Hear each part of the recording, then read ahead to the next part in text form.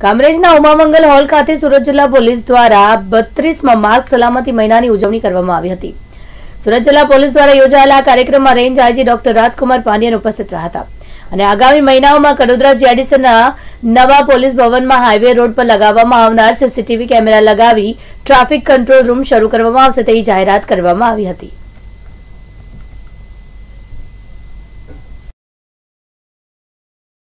Traffic સલામતી બાબતે યાદ કરે છે આ સપ્તાહ પ્રવાસ એ કાર્યક્રમ સુધારે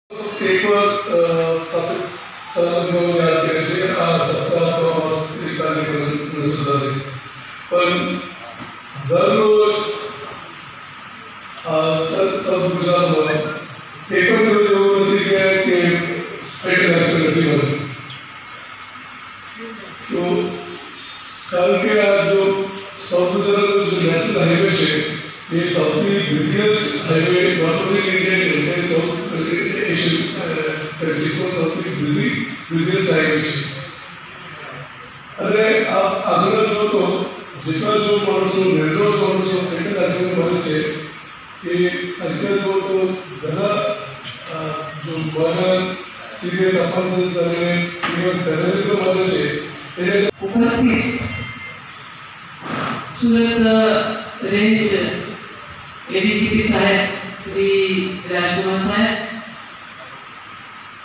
સાથે સાથે પોલીસ અને આરટીઓના અધિકારીઓ શ્રી ધવલભાઈ પટેલ અને આપ સર્વે. આજે ખાસ કરીને જિલ્લા ટ્રાફિક દ્વારા માર્ગ સપ્તાહની ઉજવણી નિમિત્તે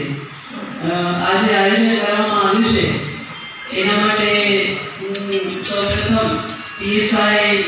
શ્રી બનિયાને અભિનંદન